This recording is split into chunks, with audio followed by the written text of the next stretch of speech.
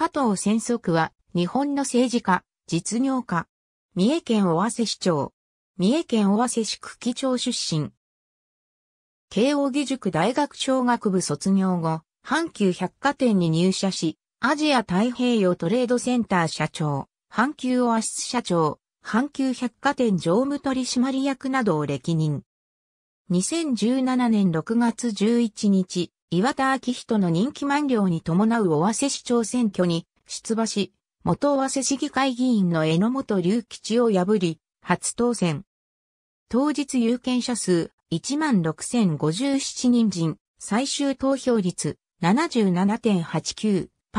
就任に際したインタビューで、加藤は小売りの経験を活かし、地場産業の中でも特に水産業の振興を徹底的にやっていきたい。阪急のネットワークを使い、尾鷲の水産物を欲しているところを見つけ出し、トップセールスを展開していきたいなどと抱負を語った。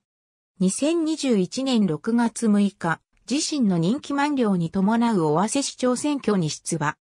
住みたい街、住み続けたい街、尾鷲をスローガンに、新型コロナウイルス感染症対策、尾鷲総合病院の医療機器更新、広域ゴミ処理施設の事業推進、若者の雇用創出などを訴え、元尾瀬市長の奥田直慶、元尾瀬市議会議員の野田博夢優を破り、再選。